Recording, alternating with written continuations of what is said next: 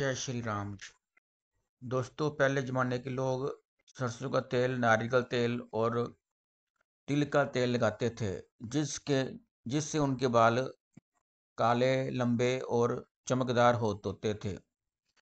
परंतु आजकल के लोग केमिकल से भरे हुए तेल लगाते हैं, जिससे उनके बाल सफ़ेद हो जाते हैं और झड़ने शुरू हो जाते हैं। और उन, उनके बालों में सिकरी भी आ जाती है। दोस्तों, हमें जितना हो सके नेचुरल चीज़ें ही अब अपने सिर पर लगाने चाहिए।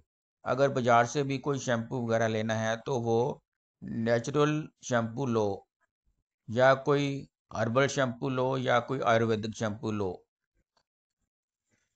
आप अगर घर में कोई तेल बना सकते हो तो ज़्यादा अच्छा है। आज मैं आपको एक घर में तेल बनाना सिखाऊँगा, जिससे आपके बाल लंबे, घने और काले हो जाएँगे।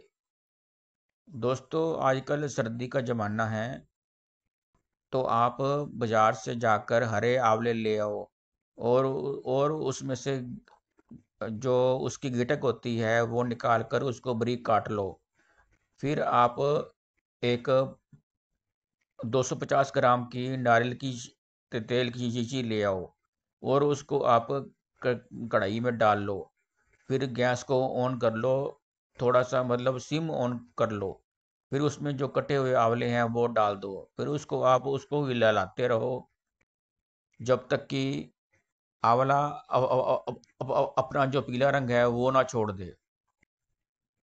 जब आंवला पीला रंग छोड़ दे नारियल के तेल में तो गैस को बंद कर दो।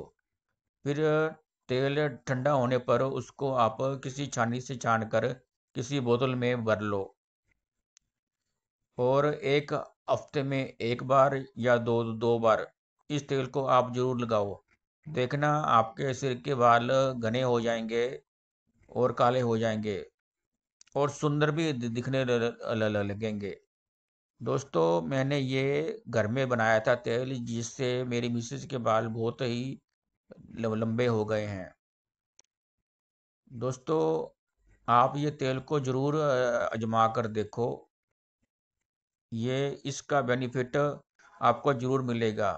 मैंने कई लोगों को बताया है, जिससे उनको बेनिफिट मिला है। दो तीन लोग हमारे घर में भी आए थे, उनको भी मैंने ये बताया था तो उनको भी बहुत ज़्यादा बेनिफिट मिला है। दोस्तों ये ये एक आजमाया उन नुस्खा है। दोस्तों आप इसको ज़रूर से ज़रूर ट्राई करना। मैं तो ये चाहता हूँ कि आपके जो बाल है वो अच्छे हों सुंदर हों और बढ़िया दिखें। मैं तो आपको अच्छी से अच्छी मतलब ट्रिक दे, देना चाहता हूँ। बस आप मेरे चैनल को सब्सक्राइब कर, कर लो। दोस्तों आप वीडियो देख लेते हो पर चैनल को सब्सक्राइब नहीं, करते हो। आप मेरे चैनल को सब्सक्राइब करोगे तो मुझे भी वो हौसला मिलेगा ताकि मैं अच्छी से अच्छी वीडियो बना सकूँ। चलो दोस्तों ठीक है आप मेरे चैनल को ज़रूर सब्सक्राइब करना। जय हिंद वंदे मातरम।